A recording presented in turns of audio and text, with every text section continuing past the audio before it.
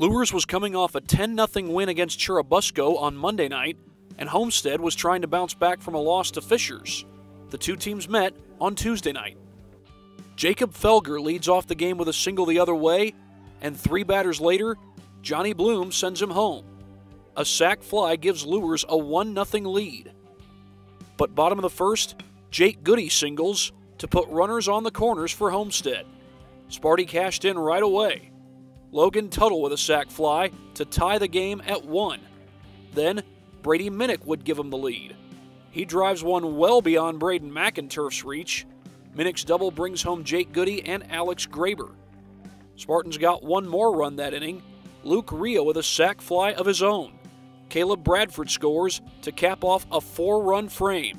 Bottom of the second, Goode's back at the plate. He goes up the middle to get Luke Neiswanger home. Homestead led 5 1 after the inning, but the Knights got one back in the third. Jaden Mays leads it off by sneaking a base knock past Bradford, and Nate Heflin brought him home. He grounds out to short, but that allows Mays to come home. That pulled Luers within three.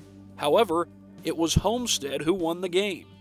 The Spartans finish off a 6 5 win in their home opener and improve to 1 1 on the season. The Knights fall to 1 1. For Summit City Sports, I'm Thad Goff.